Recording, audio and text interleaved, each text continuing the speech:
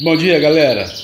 Veja bem, vou mostrar para vocês como aproveitar aquelas farinhadas que os canários não comem, para não haver desperdício, né? Mesmo porque a farinhada não é barata, beleza? Então eu vou fazendo assim, passo a passo, devagarzinho, tá? Então vamos lá, hein? Eu vou precisar de batata, dois ovos e as farinhadas. Beleza? Normalmente tem gente que joga fora. Bom, eu não jogo, né?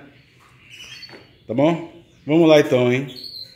Vamos amassar a batata. Aí, galera, ó. Um purezinho de batata, beleza? Agora eu vou amassar os ovos aqui, ó. Esses ovos aqui, ó. Ó.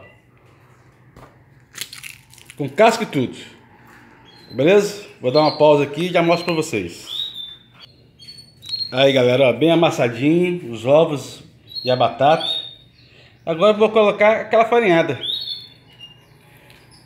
Eu vou pegar e vou fazer uma consistência que ele fica igual fazer bolinhas de ovo. Igual o ovinho. Beleza? Vamos lá, hein? Agora eu vou misturar. Mão na massa. Aí, galera, ó. A massa tá pronta.